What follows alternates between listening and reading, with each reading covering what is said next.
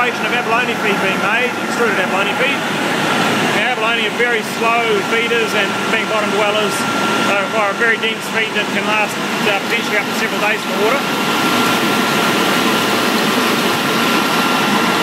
So, uh, some idea of pellets off the end of the extruder. It's not too sticky, reasonably free flowing.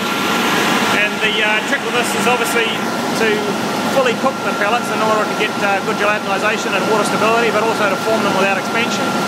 And this particular process is reasonably forgiving in that respect, in that it will handle a uh, really diverse range of formulations and still produce a, uh, quite a similar density. Um, obviously it's dependent on fat. Abalone feeds uh, in general tend to be quite low in fat and uh, which obviously does make it harder in terms of making them dense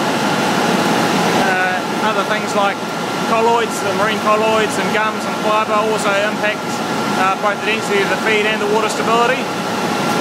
But in general terms, this process will handle uh, pretty much any formulation. So here we'll see some pellets coming off the end of the dryer.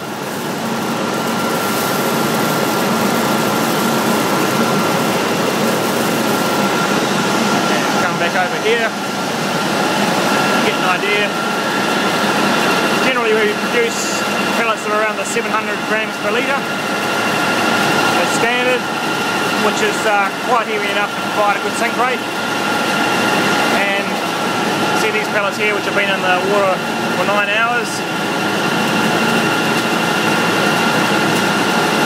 That's unagitated, obviously they'd be exposed to more agitation on an on-pump situation, but you can see it's still very stable there just to give you a better idea, I'll bend this one for you.